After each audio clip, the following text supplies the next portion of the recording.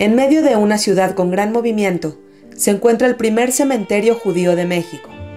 Fundado en 1914, el terreno comenzó a prepararse para recibir a los primeros judíos, que recientemente asentados en este país, serían los primeros en ser enterrados en un cementerio judío en suelo mexicano.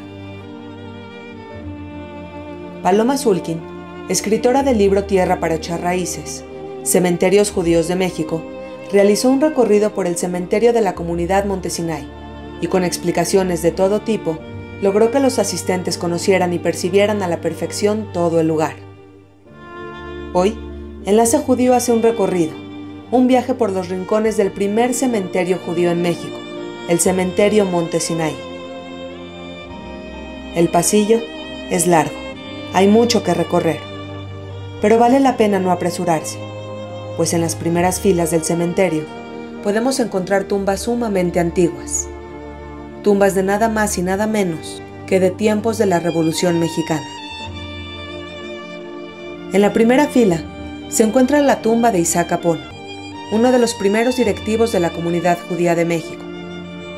Y si seguimos avanzando, podemos llevarnos una sorpresa al darnos cuenta que algunas familias decidieron poner fotos de sus seres queridos fallecidos sobre las lápidas. Esto ya no se acostumbra más. Solo se puede observar en tumbas de la segunda y la tercera década del siglo XX.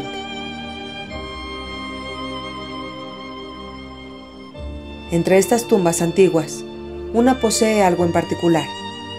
Es una inscripción en árabe, que aunque borrándose por el paso del tiempo, demuestra la influencia árabe en las familias judías provenientes de Siria. De pronto, es extraño encontrarse con seis tumbas iguales. Se trata de una familia que de manera trágica y repentina encontró la muerte en el terremoto de 1957. Por otro lado, hay lápidas que tienen un elemento roto, simbolizando vidas que terminaron antes de tiempo. Y los minutos pasan y es imposible evitarlo. La mirada se dirige hacia el espacio más triste. Se trata de los niños tumbas pequeñitas que irradian una pesada nostalgia. Y entre ellas yacen algunas lápidas más pequeñas. Sin nada escrito, provocan las más profundas compasiones. Son los bebés o los neonatos que murieron antes de recibir un nombre. Seguir caminando es como hacer un viaje en el tiempo, pues las lápidas van cambiando un poco de materiales y un poco de diseño.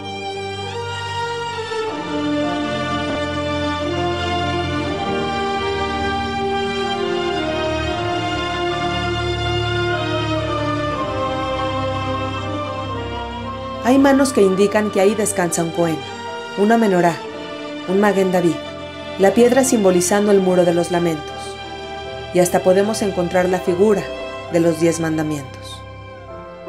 Entre las lápidas se pueden observar algunos espacios desocupados. Son lugares que pacientemente esperan a alguien. Son lugares reservados.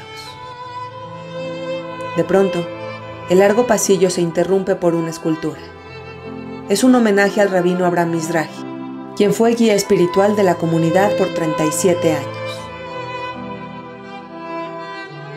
Más adelante se encuentra la Genizá, ese espacio en donde son enterrados todo tipo de objetos y documentos sagrados.